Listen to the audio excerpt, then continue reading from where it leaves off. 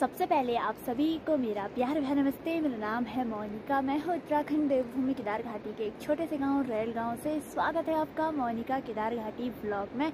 और केदार घाटी के इन खूबसूरत पहाड़ों से तो दोस्तों, अभी मेरे ब्लॉग की स्टार्टिंग दोपहर की दो बजे से हो रही है और अभी अपने छत से हो रही है। आप लोगों ने मेरे ब्लॉग में देखा होगा कि हमारे यहाँ ना ब्लॉग बन रहे थे तो ब्लॉग तो कंप्लीट हो चुके हैं। बाकी इधर की साइड जाली लगानी बाकी थी, लेकिन अभी ना जाली नहीं लगी हुई है और जो ताऊजी लगे हुए थे ना तो वो भी चले गए हैं अपने घर और क्योंकि ना उनका जो काम था ब्लॉग बनाने का वो तो कंप्लीट हो चुका है। अब देखते हैं किचन कब तक बन पाता है और अभी मैं रेडी भी हो गई हूँ और मेरी तैयारी हो गई है गाँव की साइड जाने के लिए क्योंकि हमारे गाँव में ना आछरी नृत्य हो रहा है। आछरी बोले तो मतलब जो परियाँ लगती है ना तो उनको नचाते हैं। दोपहर का व्यू देख सकते हैं भाई आप लोग। काफ़ी तेज़ धूप खिली हुई है और आसमान में बादल छाए रखे हैं और हमारे किचन का जो मेटेरियल है वो यहाँ पे है। बाकी ना 300 ब्लॉक पूरे कंप्लीट हो चुके हैं, ये देखिए भाई। और हमारे यहाँ ना पानी की बहुत बड़ी प्रॉब्लम हो गई थी तो आज देखिए हमने यहाँ पे सेंटेक्स भी भर रखा है फुल, ये देखिए। अब गाय भैंसों को पानी पिलाने के लिए यहीं से ले जाएँगे और अभी ना पानी बंद भी हो गया है। हमने दो सेंटेक्स ला रखे थे, एक ये वाला और एक ऊपर की साइड रखा हुआ है और हम ना घर के पीछे ऐसी जाली लगा रहे हैं। ये देखिए भाई तो कुछ इस तरह से जाली लग रही है घर के पीछे। तो चलिए जी, अब चलते हैं गाँव की तरफ़।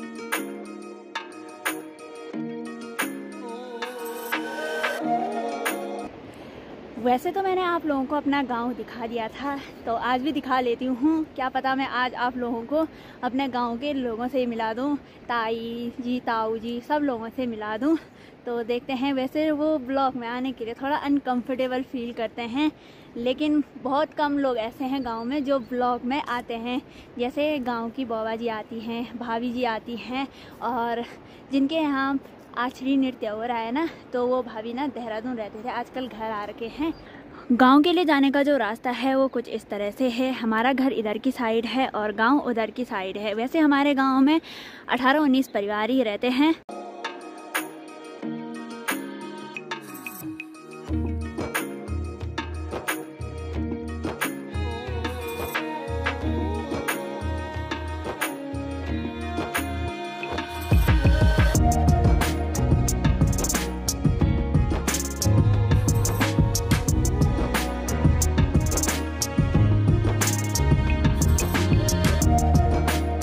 यहाँ पे हैं हमारी दादी जी। दादी भात खेली ओ कगेन आंटी। अच्छा और यहाँ पे है मेरी भुल्ली और ये है मेरी बुआ जी। और कई लोगों का कमेंट रहता है कि आप इतनी छोटी लड़की को बुआ क्यों बोलते हैं? तो दादी जी की जो लड़की होती है उसको बुआ ही बोलते हैं। खेली बात स्कूल छोटी भाई? अच्छा और यहाँ पे है छोटे छोटे बच्चे। ये मेरे भाई होते हैं। हेलो करवा और ये मेरे चाचा होते हैं। आइए मेरे को दीदी बोलता है।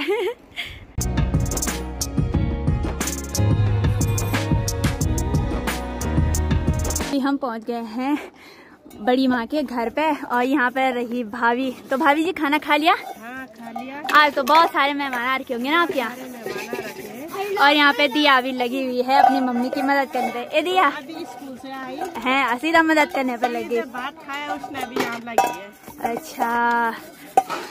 तो ये रहा बड़ी माँ लोगों का किचन। तो ये देखिए भाई भाभी ने ना अच्छी तरह से सफ़ाई भी कर दी है और ना किचनों की जो लिपाई पोताई होती है ना वो गोबर और मिट्टी से करी हुई रहती है। देखिए भाई बड़ी माँ लोगों का किचन काफ़ी अच्छे तरीके से सजा रखा है भाभी ने। भाभी अभी क्या आपने लिपाई पोताई? आप एक ही आदि अच्छा और यहाँ ऊपर पे हमारे भैया जी। ये हेलो करो जरा और यहाँ ऊपर पे है ताऊ जी। तो यहाँ पे हैं भाभी जी। भाभी जी आप कब आई देहरादून से? मैं तीस को आ गई थी। अच्छा और सब बढ़िया? बस बढ़िया। भैया जी ठीक हैं? भैया जी बिहार के? नहीं भैया जी तो ड्यूटी पे हैं भैया जी अच्छा तो अभी भाभी जी यहाँ पे चाय बना रही हैं। तो ये देखिए भाई और भाभी जी पर लगी अच्छी कहाँ लगी? मेरे मायके में चंडिका देवी के साथ की। अच्छा। तो भाभी जी की अछली को नचा रहे हैं। तो पहाड़ों में ऐसे रीति रिवाज होता है जब किसी पे मतलब परियाँ लगती हैं तो उनको नचाया जाता है ना? हाँ, नहीं तो वो- लगाया जाता हाँ। नहीं तो वो परेशान करती है। शांत होती है तब जाके। अच्छा तो अभी भाभी जी चाय बना रही चाय है। पिएगी? नहीं नहीं मैं चाय नहीं पीती। थोड़ा पी लेना नहीं नहीं। हाँ, हाँ। ना ना चाय चाय पी ही नहीं मैंने आज तक। तो यहाँ पे ना प्रसाद बनाया जा रहा है। तो भाभी जी बताएगी क्या क्या बना रखा है प्रसाद में? भाभी इन्होंने। तो भाभी क्या बना ये अछलियों के साथ हमारे वो सिद्धुआ रमोला दो भाई जो हैं वो भी उनको भी अच्छा। उनको भी बुलाया जाता है। हाँ। ये सिद्धुआ के रोट है। हाँ। यहाँ पे ये पूरी बना रखी है ये अछलियों के लिए। हाँ। मतलब इनका मैन है वो मीठी पकौड़ी हाँ। ये पूरी है। अच्छा। वो अछलियों का ये प्रसाद मैन होता है ये उनमें डोली जो बनाते हैं उसमें दे देते हैं उनको। अच्छा तो यहाँ पे प्रसाद भी बन के तैयार हो गया है। अच्छा ये रोट हैं तो इस पतीली पे पूरी बना रखे हैं और इसमें मीठे पकोड़े जिसको हमारे पहाड़ों में गुलगुले बोले जाते हैं। और यहाँ पे ना भाभी जी की तैयारी हो गई है रात की दाल रख रही है। दाल रखी है राजमा दाल। राजमा दाल रख रखी है भाभी जी ने परेसर कुकर पे।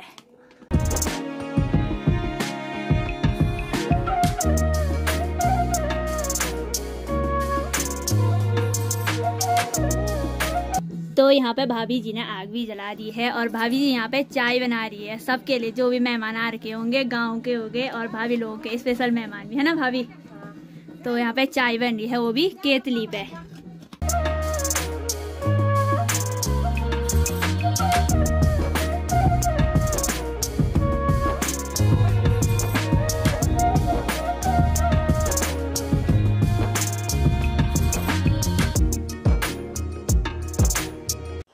तो पहाड़ों में ऐसे चौक पे मंडान लगाया जाता है तो पूरे गाँव वाले यहाँ पे पहुँच चुके हैं और यहाँ पे पंडित जी भी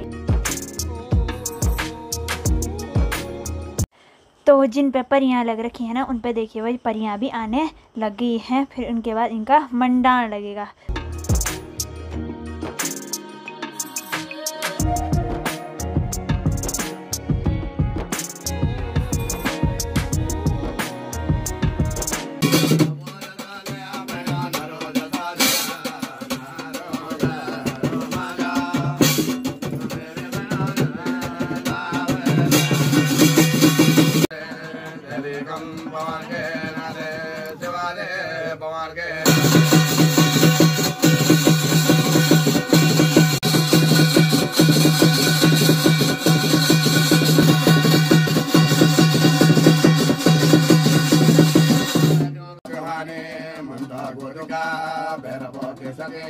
कालिका मामके मंगाले गगनके भारत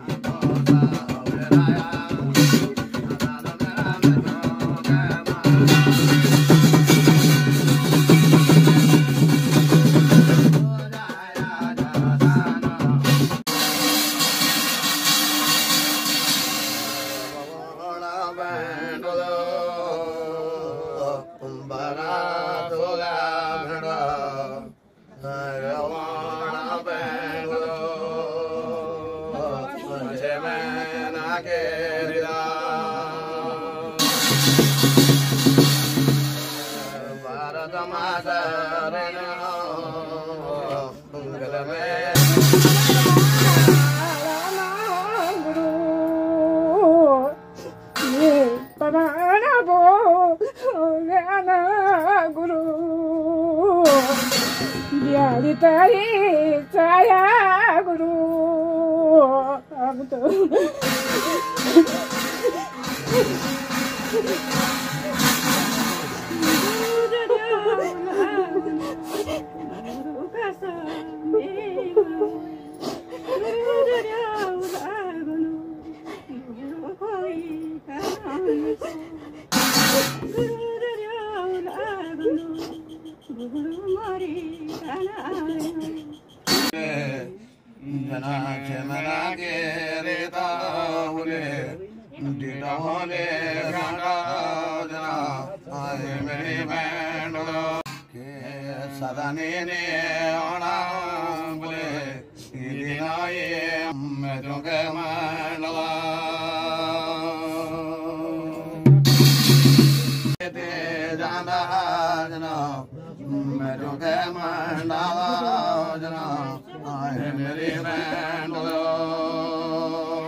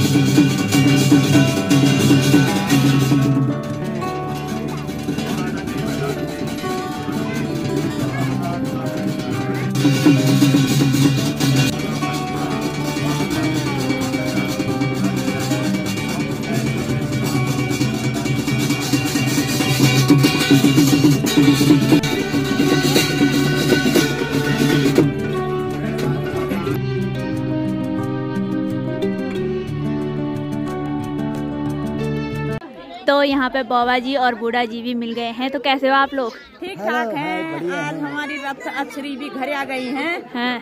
समाप्त हो गया है कार्यक्रम। अच्छा। अब हम घर जा रहे हैं। सब अच्छे। से निपटा है अच्छा कार्यक्रम है। हाँ, देवी देवता भी खुश हो गए आदमी भी खुश हो गए। अच्छा। मोनिका भी खुश हो गए हमने लिया हमारी तरफ़ से सबकी दुआ है। वही तो। है मेरी बुआ जी तो कैसे हो आप सब लोग? ठीक है ना? अच्छा और यहाँ पीछे मामी जी दादी जी और भाभी जी दादी जी। कड़ा जी तुम सब भी है। रोड जान रोड रोड बहुत रोड से बहुत कटु पहुँच बा। हम ये चाहना कि हमार जो घर मुझिन बुज़ुर्ग लोग तो बहुत अब कुछ असुविधा वन बचा था हम देर लिखरा पढ़ो होता स्कूल नहीं रोड नहीं कुछ नहीं टीचर नहीं टीचर से वहाँ यो किराए का। किराए के टीचर आ रहे हैं। हम ये चाहते हैं कि हमारे गाँव में भी अच्छी मतलब जो मोदी जी जो सबके लिए कर रहे हैं वो हम चाहते हैं हमारे गाँव में भी रोड आए क्योंकि हमारे छोटा सा गाँव है गाँव बिल्कुल रोड से कटा हुआ है। तो यहाँ पे हो रहा है हवन। तो हवन भी हो चुका है और भाभी पे जो परियाँ लगी थी वो चली गई ना? हाँ वो अपने कैलाश धाम चाहिए अच्छा अब तो नहीं करेगी आपको परेशान? हाँ, अब अब बस हमने माता को मना लिया हाँ। बस खुदा दिया हाँ, मना लगा दिया। बस हम यही चाहते हैं माता से कि सब सब मनोकामना पूरी। करी सब सुखी संपन्न रहे। हाँ और बुआ जी यहाँ पे बुनाई कर रही है। ये देखिए क्या बना रही हो आप? स्वेटर बना रही हो। अच्छा। ये जी अभी मेरी तैयारी हो गई है घर जाने की और भाभी के यहाँ ना आज लास्ट दिन था। मतलब जो परियों का मंडान लगाया हुआ रहता है मतलब परियों को नचाते हैं तो वो भी अपने कैलाश चले गई हैं। तो अब हमारी भी तैयारी हो गई है घर जाने की और अंधेरा भी होने वाला है। तो चलिए जी चलते हैं घर की ओर। चलिए जी बाहर अंधेरा भी हो गया है और अब हमें ना गौशाला जाना है भैंस के पास है ना मम्मी? और मम्मी आप क्यों नहीं आई? को तो हमेशा काम ही रहता है बिज़ी रहती हूँ मैंने कपड़े धोए। मोनिका तो धोती नहीं है अपने कपड़े।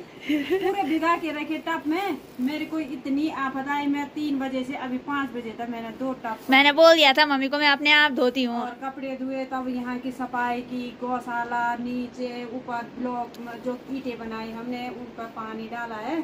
और बहुत सारा काम किया क्योंकि मेरे लिए तो इधर उधर जाने के अब जब तक काम है तब तक तो बहुत वो है।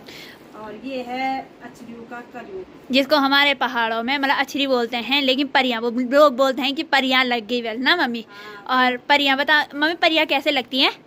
और जो जैसे धारू में घास के लिए जाते हैं। को मतलब डांस भी नहीं करना चाहिए। गाना लगाते हैं गढ़ वाली गाना लगाते उस पर परियाँ लग जाती हैं। तो हमारे यहाँ नचाते हैं घटिया बोलते हैं घटिया पंजी को बुलाते हैं तब न- नचाते हैं और तब मतलब पहाड़ी रीति रिवाज के साथ? रीति रिवाज के साथ तो आज वो भी अपने कैलाश चले कैलाश चले गए। भेज दिए मतलब खो दिए है हमारे यहाँ बोलते हैं जैसे लड़के कैलाश।